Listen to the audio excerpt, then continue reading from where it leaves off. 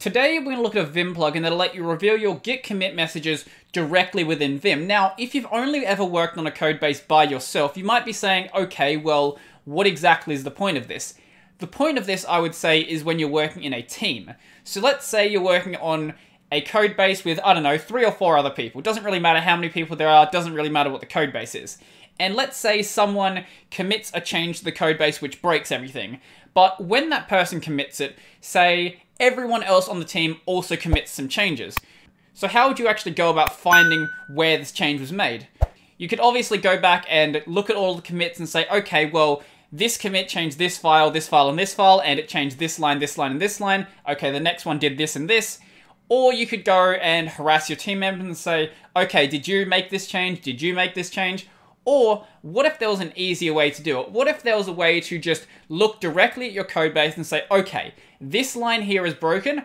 Who changed this line? And that's what today's plugin is going to be doing. So this is a plugin by the name of Git Messenger, which, as I said before, will let you reveal commit messages under your cursor. Before we get to anything else, let's just have a look at how to install it. And luckily for me, I'm using Vim plug, so I can just copy directly what's from the GitHub page. If you're using something like dein.vim or minpac, you can also use the example here as well. Now, generally I don't see these plugin managers show up. Usually it's something like Pathogen or how to do it manually, but I guess it is nice to see some other plugin managers get some love as well. So because I'm using NeoVim, I'm going to modify my NeoVim config. If you're using regular Vim, obviously use your regular Vim config, so your .vimrc. So if you're on Vim plug, go down to your plug block. If you're on anything else, I'm sure you probably know how to use that plugin manager. And in here, what we're going to do is just paste this line in right here, which I've already done, and then you're going to run plug install. And once you've done that, you'll have your plugin actually installed. So let's just have a look at what this plugin actually does. So because I don't really have anything better to use, I'm just going to use the ST code base. It doesn't really matter what you use though, the plugin's going to work the exact same way. So st.c, this file right here. Okay, so what we can do now is run git messenger and this will open up a little floating window. I think it works a little bit differently in regular Vim and older versions of NeoVim, but it should still work. I don't know what the minimum requirement for Vim is, so NeoVim is 0.4 or later for floating windows. I don't know what you need for regular Vim though, so check when regular Vim got floating windows. I, I don't know when that was. Someone who uses regular Vim can tell you in the comment section now that I've run this, it brings up this little window which shows me the commit history. So this is the zeroth commit that made this change. So that means it's the newest change to this line. It shows the commit hash, it showed who did it, when, and then their commit message. But maybe this isn't the only change that happened to this line. Maybe there are some other changes. So if we run a git messenger again, what will happen now is it'll actually move our cursor into this block. I'll explain in a moment why you can't just move down to that, but we'll get to that in just a second. So now that we're in here, if we press O, this will actually take us back through our commit history. So this was the previous change that happened to this line, and this was the change that happened before that. So as with the first one, it shows the commit hash, the author, the date, and the commit message. If you're in a well-structured repo, hopefully the commit message is meaningful.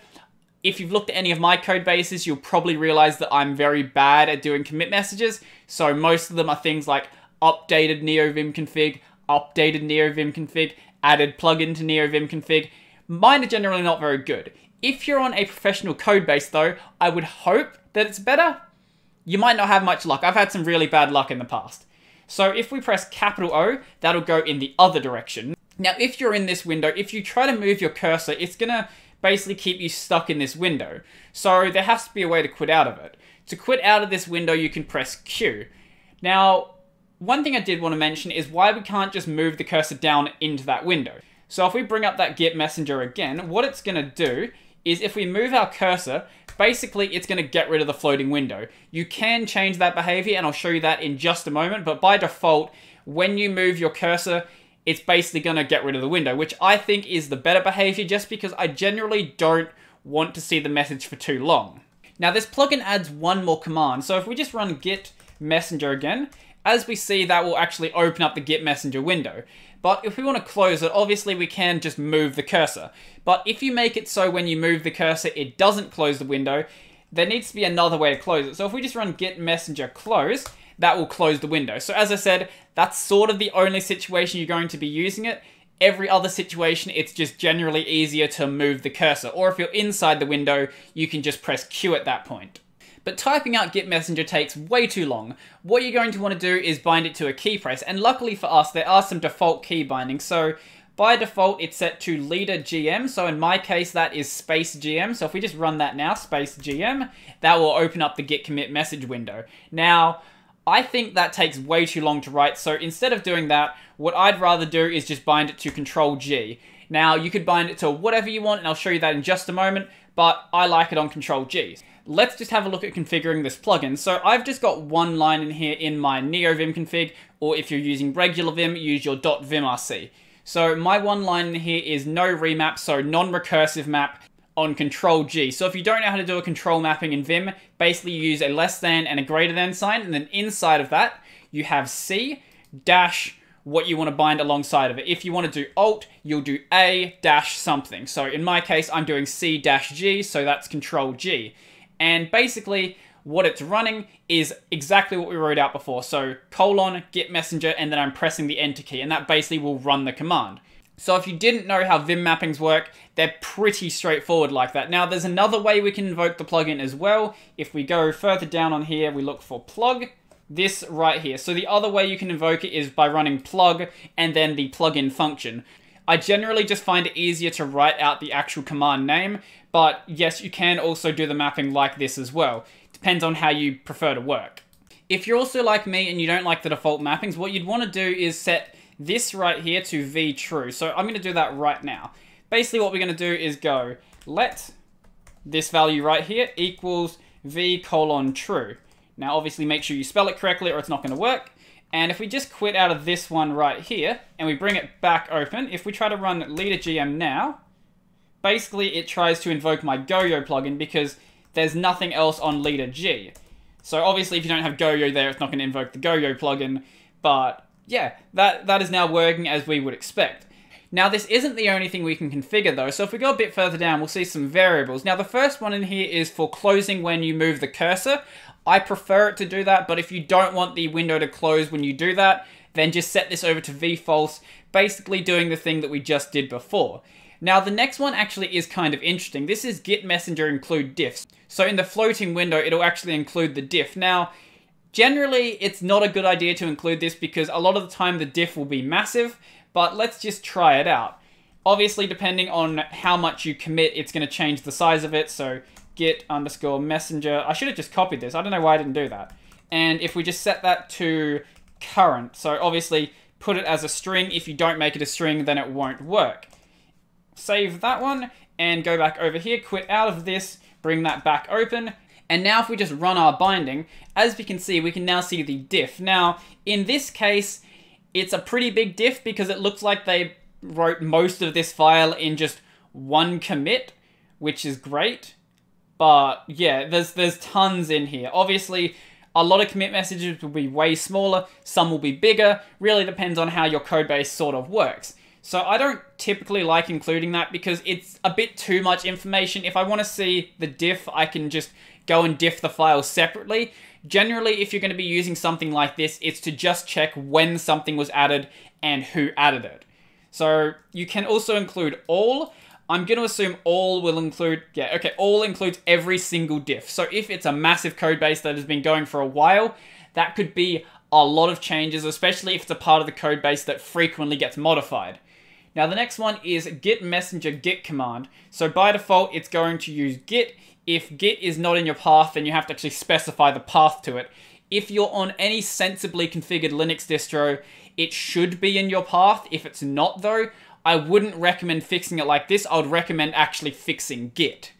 The next one we have is git messenger no default mapping. So we already went over that one. I like it being set to true. I didn't have it in there before for the sake of the video though. And the rest of these variables aren't too interesting. So these two right here are for changing the pop-up window size. I wouldn't recommend touching these because leaving them at the default value means it'll be resized as it needs to be resized.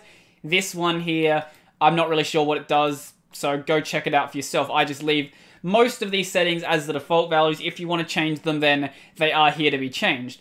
Now, you might have noticed that my theme actually does highlight the window properly, so if we just run that again, it's actually fitting within my current theme. If it doesn't do that, however, come check out the GitHub page, which does a pretty good explanation of how to change the highlighting on everything that's involved in this window. So all of this stuff here will basically show you how to do it. So I'm not going to go into that in this video. I've done previous videos on highlighting. And then there's also an explanation of how to change the bindings inside that pop-up window. So that window is actually a special type of buffer. And because of that, you can say, okay, I only want these bindings to activate when I'm inside of this buffer. And this basically shows you how to do that. If for whatever reason this plugin doesn't work, it is configured to work with health checks, so you can check if you have everything installed that will make this plugin work properly.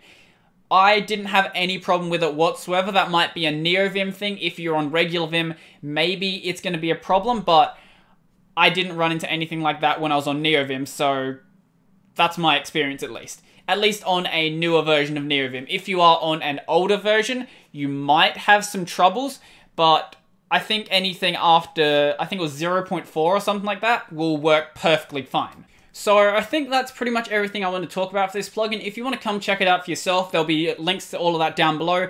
But before I go, I just want to thank my patrons. So a special thank you to Joachim, Nathan, Andrew, P.E. Road, Tony, Donald, LQ, Larry, and Zilver. If you want to join the Patreon, there'll be a link to that down below, as well as my Amazon affiliate links where you can buy the gear I use in this channel, or just anything else you want, I'll get a small kickback for it.